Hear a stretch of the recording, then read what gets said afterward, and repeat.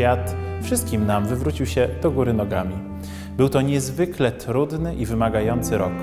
Epidemia dotknęła nas wszystkich, zaburzyła stosunki międzyludzkie, zagroziła miejscom pracy, a co najstraszliwsze, wielu spośród nas zabrała. Dlatego życzmy sobie optymizmu i nadziei na lepsze jutro. Święta Bożego Narodzenia to taki czas, gdy myślimy najwięcej o bliskich, krewnych, przyjaciołach. To jeden z tych momentów, gdy przystajemy, zatrzymujemy się i próbujemy samych siebie odnaleźć w twarzy drugiego człowieka.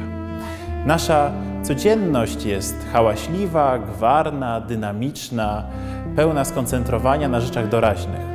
Zaś święta Bożego Narodzenia to czas pokazujący, jak wszystkich nas wiele łączy. Wszyscy podzielimy się opłatkiem. Wszyscy zasiądziemy do wigilijnego stołu.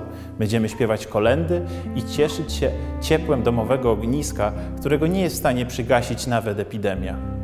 Jest to czas magiczny, który pokazuje, jak wiele nas łączy, zaś różnice czy spory okazują się tymczasowe i prozaiczne. Życzmy sobie dużo radości, szczęścia i pomyślności osobistej w nadchodzącym roku.